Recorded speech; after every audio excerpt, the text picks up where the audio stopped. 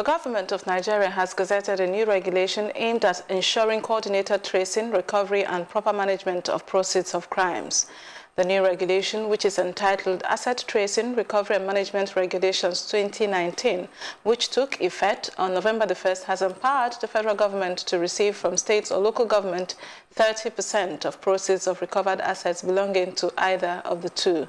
Signed into law on October the 24th by the Attorney General of the Federation, Abubakar Malami, the new regulation empowers the AGF to take charge of the custody and management of all final forfeited assets, approval and appointment of asset managers, operating and maintaining a centralized database for the storage of records of all recovered assets within and outside Nigeria. According to the regulation, all proceeds from the disposal of the final forfeited assets shall be paid into a designated account at the Central Bank of Nigeria, described as the Federal Government of Nigeria Asset Recovery Account.